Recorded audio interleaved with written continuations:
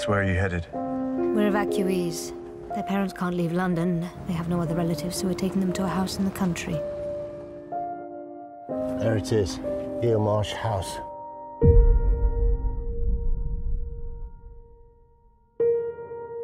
The house has been empty for years. Now I lay me down to sleep. I pray the Lord my soul to keep. If I should die before I wake, I pray the Lord my soul to take.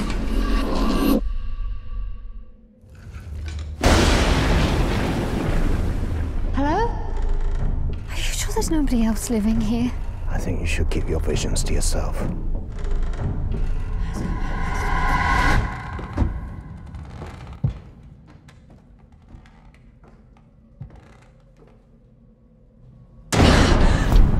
You believe me?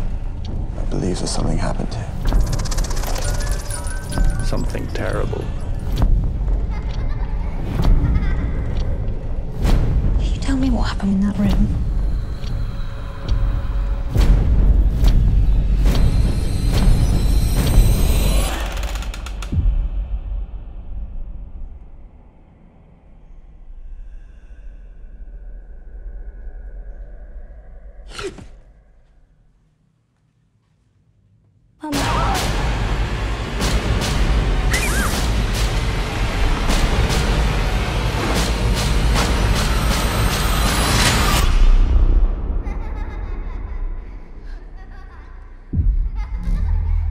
Close your eyes.